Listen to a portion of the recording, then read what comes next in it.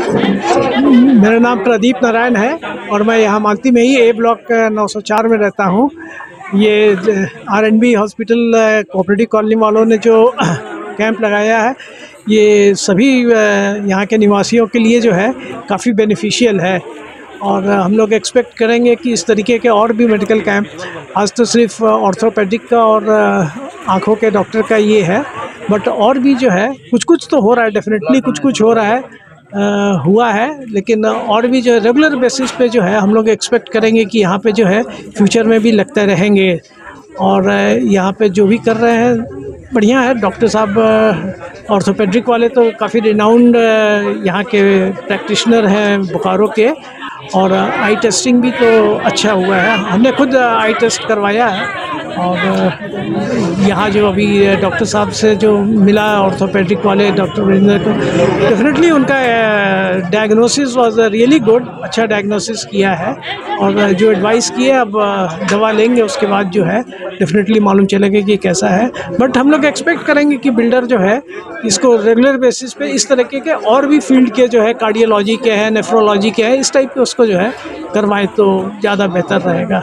Hospital के द्वारा यहाँ पर चेकअप कैंप लगाया गया है, जिसमें हड्डी का, आँख का और ये बीपी शुगर सबका जाँच हो रहा है। बहुत ही अच्छी जाँच चल रही है और मालती के बहुत सारे लोग इससे लाभान्वित हो रहे हैं। डॉक्टर साहब यहाँ पर दवा दवा भी फ्री दे रहे हैं और आशा है लोगों को ये बहुत फ़ायदा मिलेगा।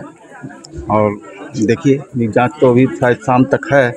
शाम तक कितने लोग आते हैं? अभी तक पचास साठ आदमी जो है यहाँ पर जाँच करवा चुके हैं।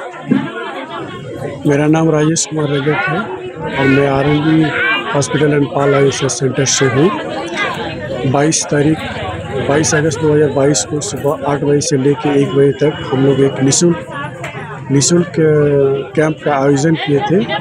ये मालती लग्जरिया कॉम्प्लेक्स में, जो कि बखूबी बहुत अच्छी तरह से हो रही है।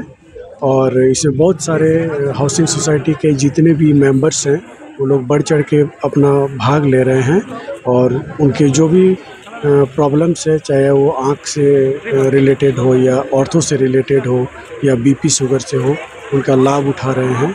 और इनके लिए मैं बहुत सारे आभार व्यक्त करता हूँ ये हाउसिंग सोसाइटी के मेंबर्स और सिक्योरिटी साहब को कि ये कैंप करने में वो लोग हमको बहुत सारे सहयोग किए।